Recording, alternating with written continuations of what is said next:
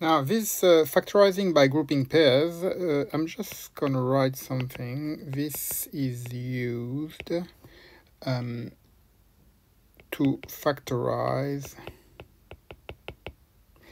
uh, expression with four terms. Okay, so for example, bx uh, plus by plus cx plus cy. Okay, I want to factorize that.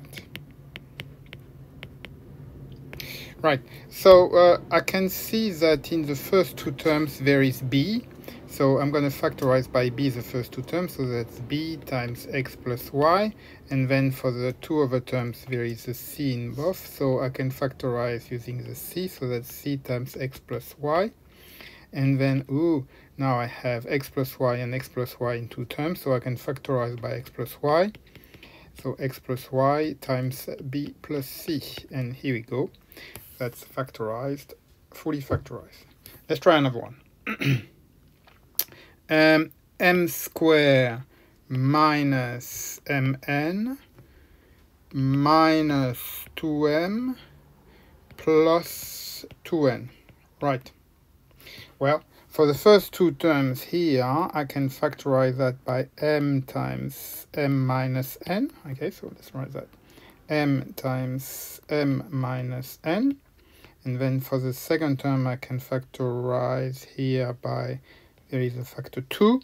So that's uh, plus, or actually, minus, minus 2 times m minus n.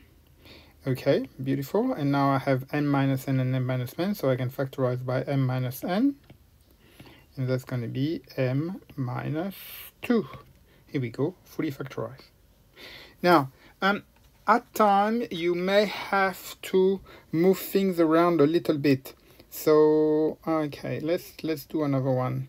So say for example you have mx plus um, ny plus nx plus my. Okay, well, that's not immediately obvious. But if I kind of change the position of those two, then it becomes mx plus nx plus ny plus my and so then okay so that then I can factorize the first two terms by m plus n times x and likewise for the other one I can factorize m plus n times y and here we go. Now I can that's m plus n times x plus y.